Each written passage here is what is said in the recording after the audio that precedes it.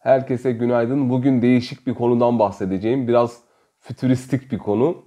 Kripto varlıklarının çeşitlendirilmesi. Örneğin evimi ya da arabamı e, bir kripto varlığa nasıl dönüştürürüm? Bunu anlatacağım. Bir de e, Bitcoin'deki şu anki artışın yalancı mı yoksa gerçek mi olduğu ile ilgili yorumlar yapacağım.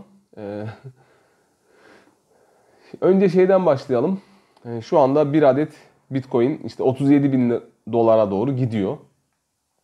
Türk lirası olarak da videoyu çekmeden önce 1 milyon 50 bin lira falandı. 1 milyon 100 bin lirayı belki görecek gibi duruyor. Ee, dün Bitcoin, dün değil de ondan önceki gün sanırım Bitcoin Spot ETF onay için e, SEC ile görüşmelere başladı diye bir haber geldi. Aslında Bitcoin piyasasını hareketlendiren durum biraz bu oldu. Bir de ETF onayları var. Onların da Ocak ayı gibi şu, şu anki görüşmeler onayın verilmesi, Ocak ayı ortalarında bu onayın verilmesi bekleniyor. Tabi arada yalan haberler de e, dönüyor ama ETF onayı konusunda e, piyasa şu anda %90 e, buna olumlu bakıyor. ETF'lerin onaylanmasını bekliyor. Benim endişem e, şu acaba piyasa sanki bu ETF'ler onaylanmış da e, onun fiyatlamasını mı yapıyor? Eğer böyle bir durum varsa hani Bitcoin'de Ocak ayının ortalarında beklediğimiz o yükseliş e, sağlanamayabilir.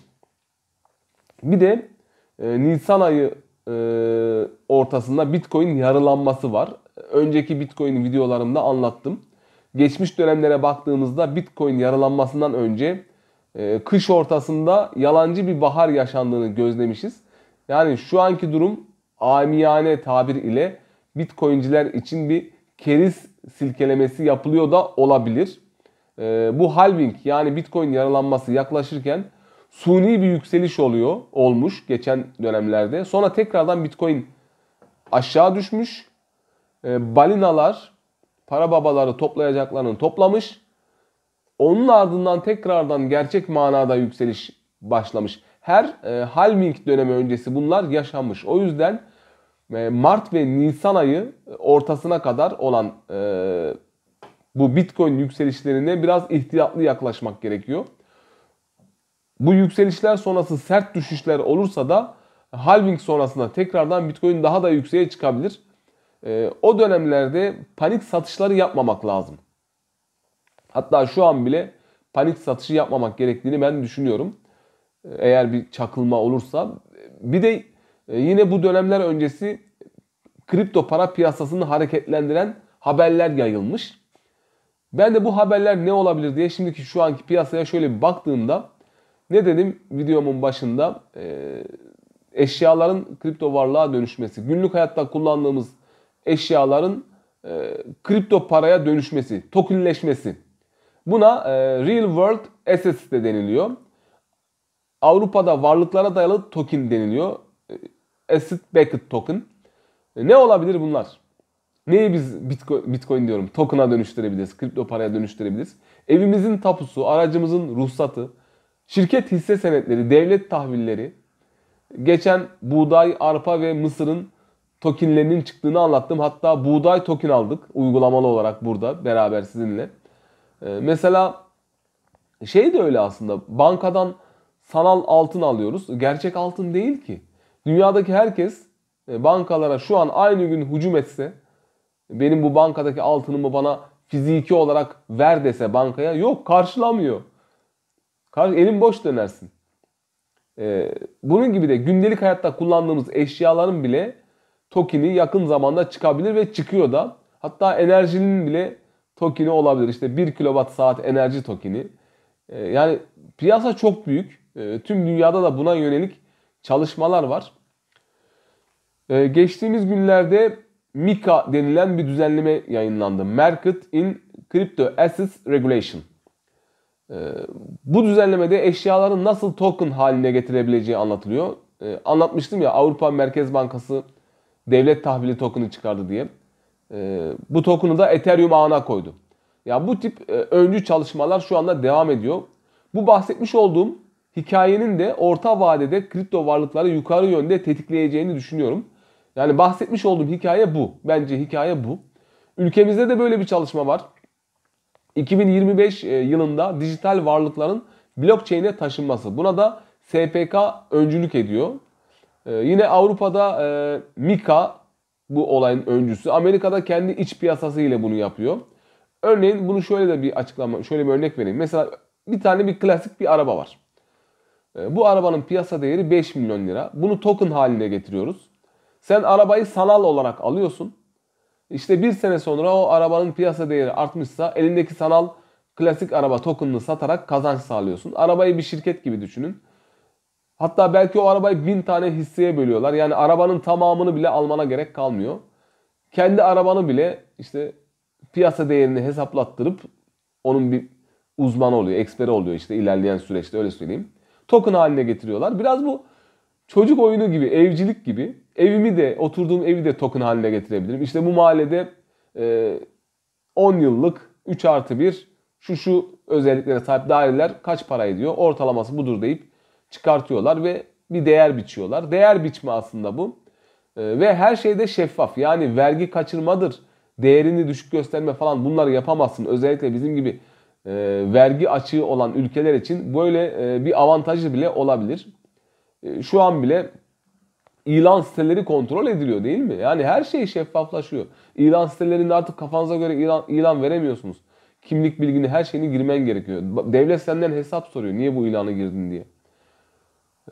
Ki ben öyle tahmin ediyorum ki belki 50-60 sene sonra artık suç işlemek bile imkansıza yakın bir hale gelecek. Tüm bu kameralar, e, insanı gözetleyen bu sistemler her yerde o, o derece yayılacak ki e, suç işleyen anında cezasını çekecek. Mahkeme bile olmayacak belki. Öyle bir sistem kurulacak ki e, şeyle hmm, dijital zeka mı yapay zeka ile kamera görüyor, yapay zeka devreye giriyor. Hop hemen senin cezanı kesiyorlar.